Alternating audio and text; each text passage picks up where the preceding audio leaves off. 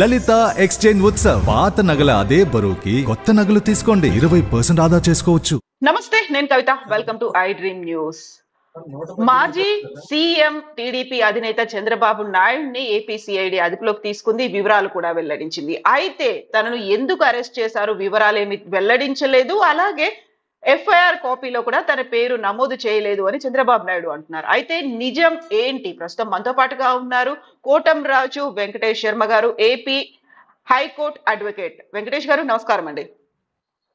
నమస్కారం అండి. I dream ప్రేక్షకులందరికీ కూడా నమస్కారం. సార్ ఇప్పుడు ఎందుకు అరెస్ట్ చేశారు? వివరాలు ఏమీ లేవు. ఆధారాలు లేకుండానే అరెస్ట్ చేశారు. దాంతో పాటుగా ఎఫ్ఐఆర్లో పేరు కూడా నమోదవ్వలేదు నేను ప్రజా సమస్యల మీద పోరాడుతున్నందుకే అణచివేయాలని చూస్తున్నారని అంటున్నారు. నిజంగా ఏం జరిగింది? అసలు ఏపీ స్కిల్ డెవలప్మెంట్ కార్పొరేషన్లో జరిగినటువంటి కేసు ఏంటండి? ఏపీ స్కిల్ డెవలప్మెంట్ కార్పొరేషన్లో రెండు వందల ఎనభై రెండు కోట్ల రూపాయల స్కామ్ జరిగిందని చెప్పేసి రెండు వేల పంతొమ్మిది డిసెంబర్లో ఎఫ్ఐఆర్ నమోదైందండి అది. కూడా ఏ విధంగా నమోదైందంటే సీరియస్ ఫ్రాడ్ ఇన్వెస్టిగేషన్ వాళ్ళు ఆ ఆడిటింగ్లో అక్కడ షెల్ కంపెనీల్లో నుంచి డబ్బులు ట్రాన్స్ఫర్ అయినాయి కానీ మిగతా షెల్ కంపెనీ మిగతా కంపెనీస్లో సీమన్స్ కంపెనీలో డబ్బులు రిలీజ్ అయినట్టుగా కానీ ఎక్కడ వాళ్ళకి అందినట్టుగా కానీ ఎక్కడా కూడా నమోదు అవ్వలేదు మన. ఆంధ్రప్రదేశ్ ప్రభుత్వం రెండు వందల ఎనభై రెండు కోట్లు సిమెంట్స్ వాళ్ళకని రిలీజ్ చేసింది అప్పుడు. అసలు అయితే టెన్ పర్సెంట్ ఆంధ్రప్రదేశ్ గవర్నమెంట్ పెడితే వాళ్ళు ఎయిటీ పర్సెంట్ పెట్టాలండి. అట్లా కాకుండా రెండు వందల ఎనభై రెండు కోట్లు ఆంధ్రప్రదేశ్ గవర్నమెంట్ రిలీజ్ చేసిన తర్వాత ఆ డబ్బులు చేతులు మారుతూ వచ్చినాయి. అది సీరియస్ ఫ్రాడ్ ఇన్వెస్టిగేషన్ వాళ్ళు కనిపెట్టారు అది. కనిపెట్టి ఈ డబ్బులు సిమెంట్స్కి వాళ్ళని అడిగితే అసలు మీకు మాకు మాకు ఈ కంపెనీ ఈ డబ్బులకి సంబంధం లేదని సిమెంట్స్ వాళ్ళు చెప్పారు. సిమెంట్స్లో ఉన్న కొంతమంది ప్రముఖులు ఆ కంపెనీకే తెలియకుండా ఆంధ్రప్రదేశ్ ప్రభుత్వం తోటి ఒక ఎంఓయు కుదుర్చుకొని ఆ ఎంఓయు ప్రకారం ఈ డబ్బులు రిలీజ్ చేయించుకొని ఆ డబ్బులు షెల్ కంపెనీల ద్వారా ఇవన్నీ రిలీజ్ చేయబడ్డాయండి. మనం గమనిస్తే ఇప్పుడు అదే ఇన్కమ్ ట్యాక్స్ వాళ్ళు కూడా అదే నూట పద్దెనిమిది కోట్ల రూపాయలు ఆ, దానికి సంబంధించి చంద్రబాబు నాయుడుకి ముట్టినాయి చేసినాయి అని చెప్పి నోటీసులు జారీ చేశారు. ఎక్కడ చంద్రబాబు నాయుడు గారు నూట పద్దెనిమిది కోట్లు నాకు లీగల్గా వచ్చినాయని కానీ అది నా స్వ- స్వార్జితం అని కానీ కష్టార్జితం అని కానీ ఎక్కడ పేర్కొనబడలేదు. ఆయన Hmm. ఏమంటున్నారు?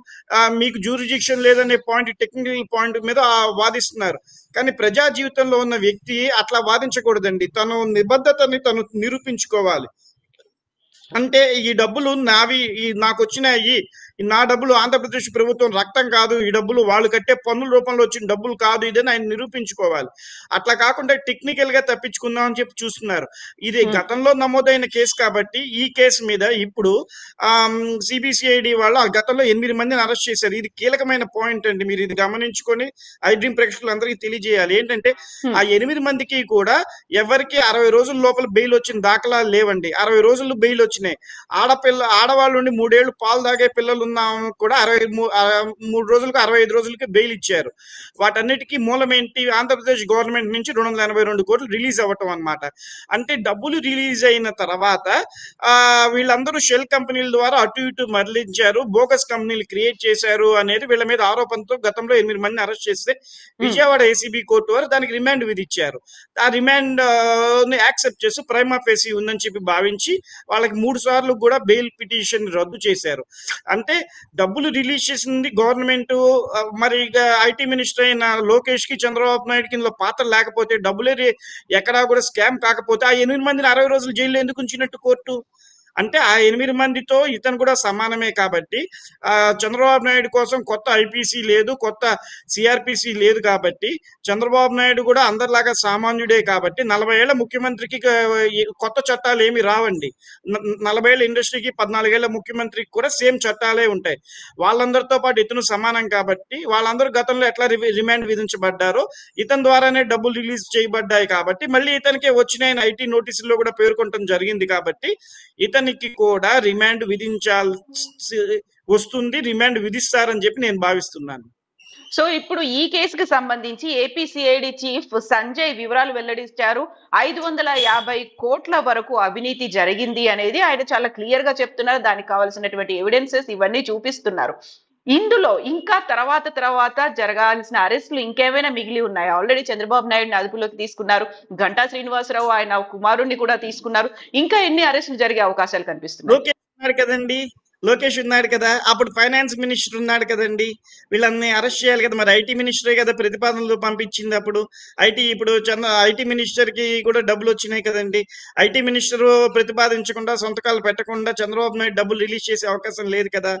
మరి లోకేష్ పాదయాత్ర ఆపేసి తను కూడా కొంతకాలం జైల్లో రెస్ట్ తీసుకోవాల్సిన అవసరం ఉంది కదండి ఇప్పుడు.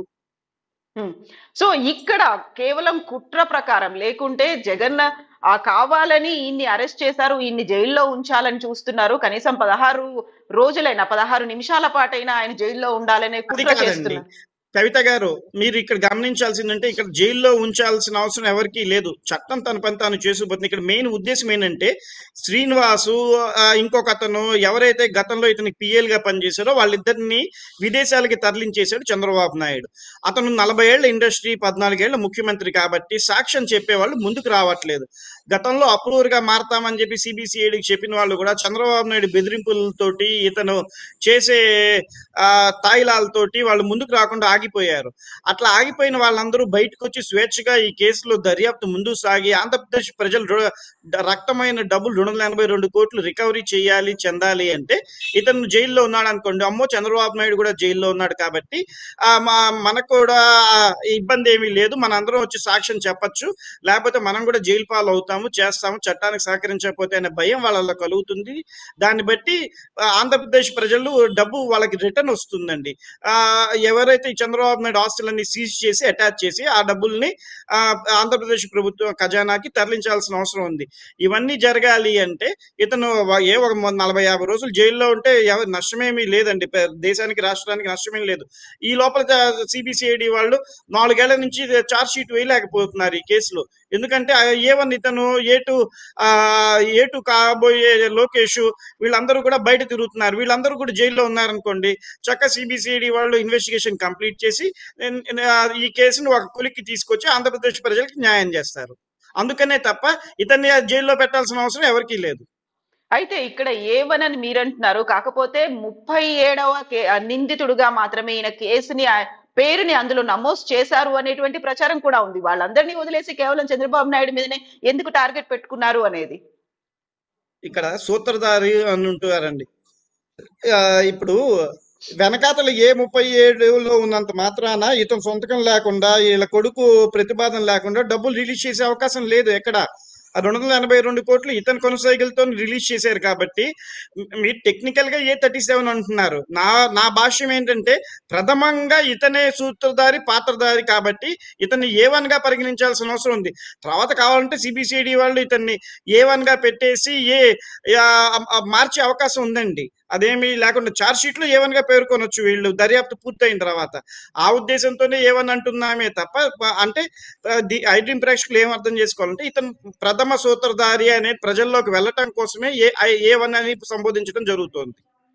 సో ఇప్పుడు ఇది స్కిల్ డెవలప్మెంట్ కార్పొరేషన్కి సంబంధించినటువంటి కేసేనా? లేకుంటే దీంతో పాటుగా ఇంకేమైనా కేసులు బయటకు వచ్చే అవకాశం ఉందంటారా? అన్నిటినీ కలిపి ఒకేసారి మళ్ళీ విచారణ చేపడతారా? ఇదైతే ప్రస్తుతానికి స్కిల్ డెవలప్మెంట్లో జరిగిన చిన్న రెండు వేల కోట్ల స్కామే మేడం ఇది. అందులో ఐదు వందల కోట్లు వారు అంటున్నారు. ఇరవై- రెండు వందల ఎనభై రెండు కోట్లు. కాకపోతే శ్రీనివాస్ గారి దగ్గర మొత్తం రెండు వేల కోట్లు బెదిరించి వసూలు చేశాడు అనేది ఉంది. ఆ ఐదు ఆ రెండు వేల కోట్లలో ఇక్కడ రెండు వందల ఎనభై రెండు కోట్లు ఇక్కడ ఉన్నాయన్నమాట.